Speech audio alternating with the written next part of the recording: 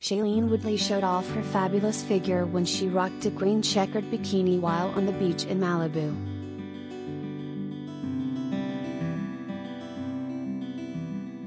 Shailene Woodley, 29, is still in summer mode and she proved that when she rocked a cute green and white checkered bikini while surfing on the beach in Malibu. The Big Little Lies star showed off her toned figure in the Leslie Amon two-piece which featured a low-cut underwire Chrissy bikini top with cutout strappy sides paired with low-rise matching gingham bottoms. You can see the photos here.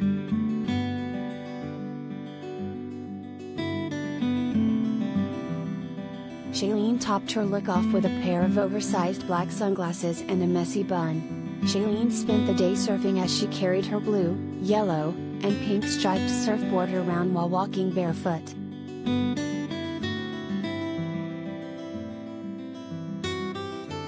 The actress sparked pregnancy rumors when she randomly posted a black and white photo of baby feet to her Instagram on September 9.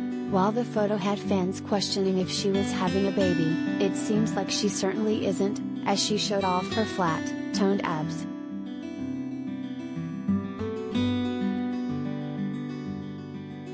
Related Gallery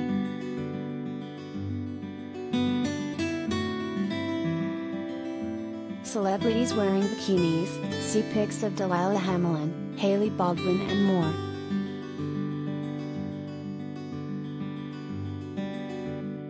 Shailene is engaged to Aaron Rodgers, 37, and the two don't have a set date for their wedding yet as Aaron started the 2021 NFL season where he plays for the Green Bay Packers in Wisconsin.